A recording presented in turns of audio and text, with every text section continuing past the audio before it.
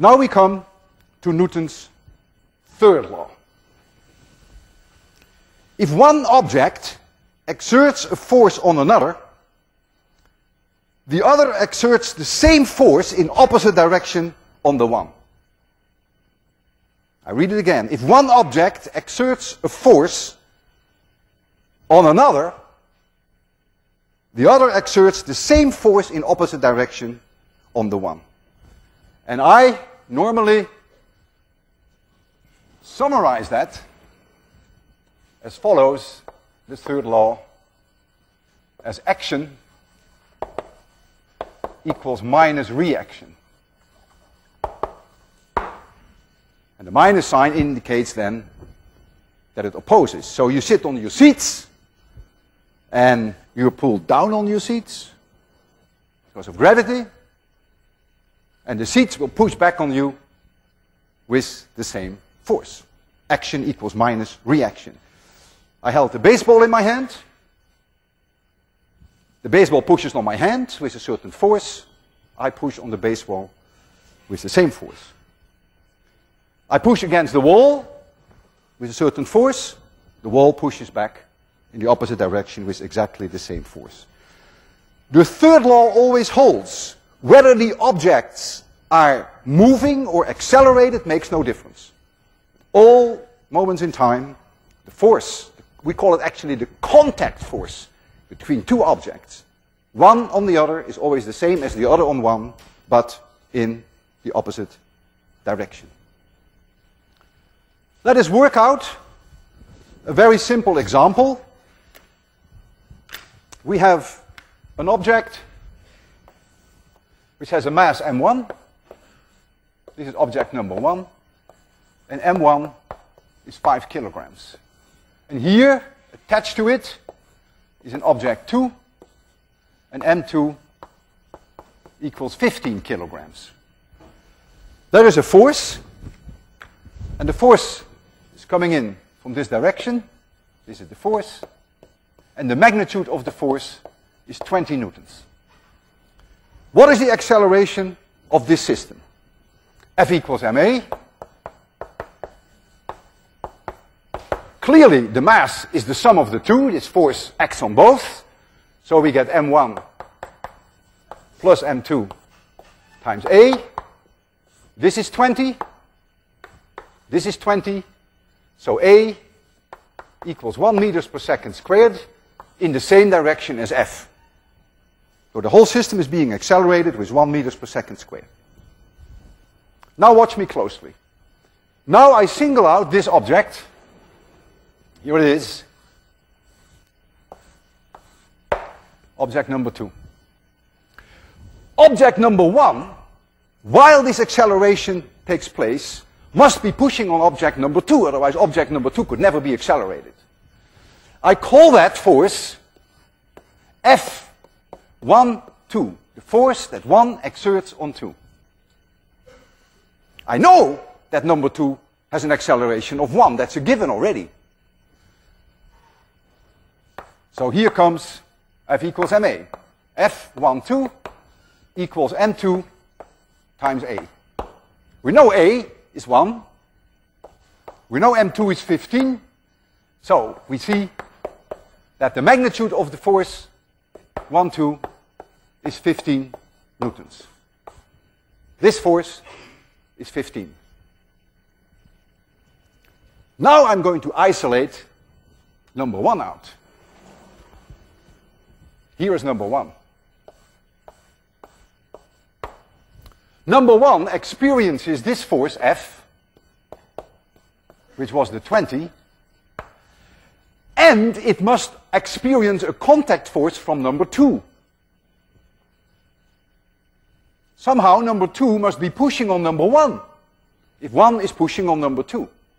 And I call that force F21.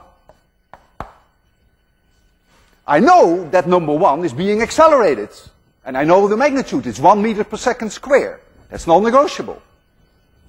And so we have that F, this one, plus F21 must be M1 times A. This is 1, this is 5, this is 20, and so this one, you can already see, is minus 15.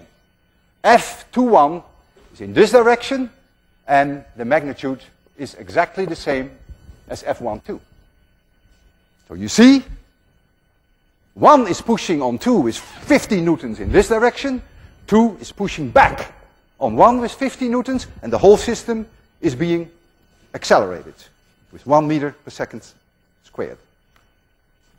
Now in these two examples, the one whereby I had the baseball on my hand, you saw that it was consistent with the third law.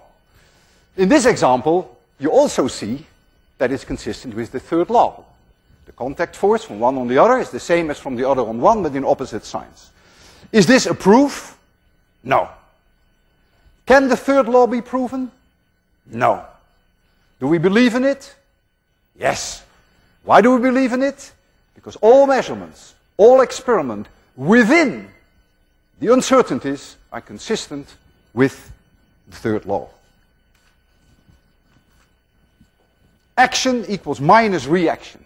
It is something that you experience every day. I remember I had a garden hose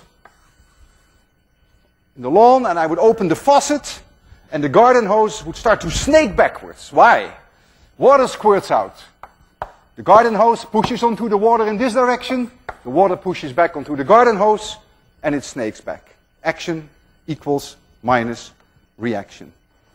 You take a balloon. You take a balloon and you blow up the balloon. And you let the air out. The balloon pushes onto the air. The air must push onto the balloon. And therefore, when you let it go, the balloon will go in this direction, which is the basic idea behind a rocket.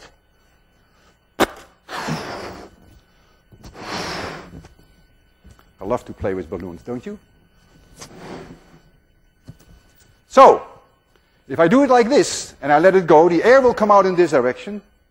And so then, that means the balloon is pushing on the air in this direction, the air must be pushing on the balloon in this direction. There it goes. Didn't make it to the moon, but you saw the, the idea of a rocket. Action equals minus reaction. If you fire a gun, the gun exerts a force on the bullet. The bullet exerts an equal force on the gun, which is called the recoil. You feel that in your hands, in your shoulder. I have here a marvelous device which is a beautiful example of action equals minus reaction. I show you from above what it looks like. You'll see more details later.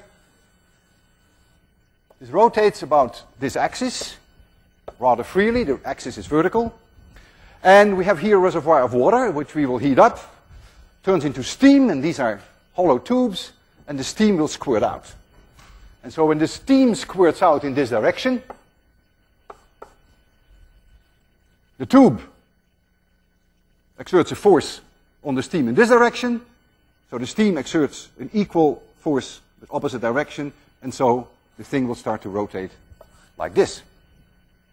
And I would like to demonstrate that.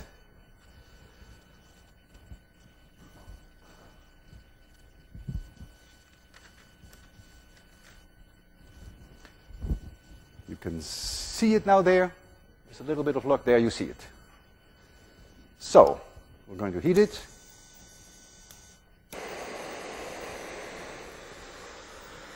Walking. When you walk, you push against the floor. The floor pushes back at you. And if the floor wouldn't push back at you, you couldn't even walk. You couldn't go forwards. If you walk on ice, very slippery, you can't go anywhere. Because you can't push on the ice, so the ice won't push back on you. That's another example where you see action equals minus reaction. This engine is called Hero's engine. Hero, according to the Greek legend, was a priestess of Aphrodite. Let's first look at it.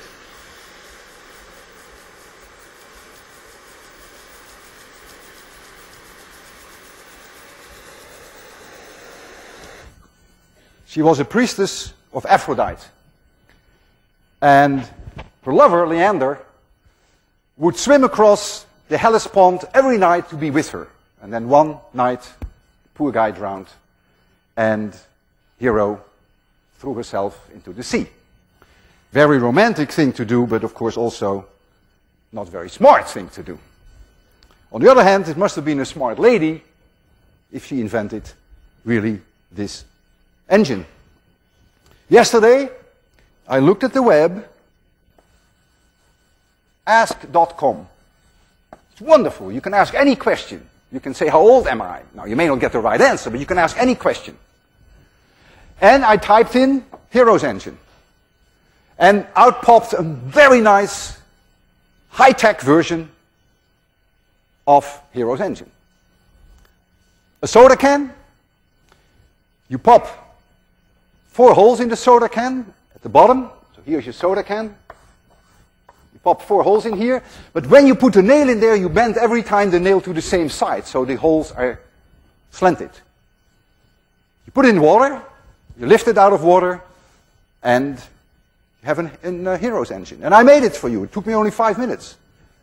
I went to one of MIT's machines, got myself soda, put the holes in it, and here it is. It's in the water there. When I lift it out, you'll see the water squirt. And there it goes. High-tech version of Hero's Engine. It also makes a bit of a mess, but okay. All right. Try to make one, it's fun. And it's very quick, it doesn't take much time at all.